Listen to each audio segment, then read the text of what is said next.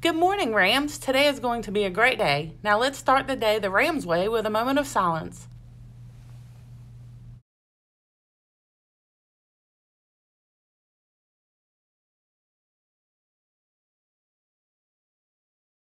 Please stand for the Pledge of Allegiance.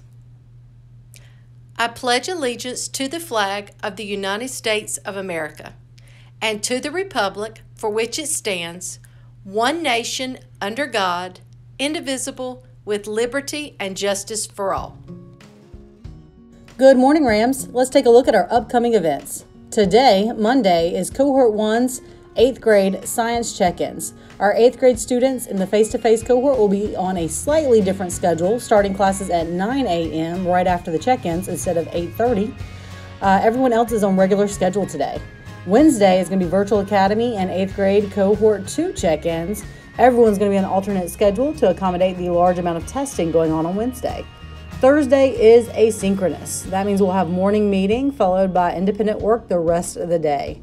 This week, looking at our sports, we have soccer away today, volleyball home tomorrow, volleyball and soccer home on Wednesday, and a possible football game.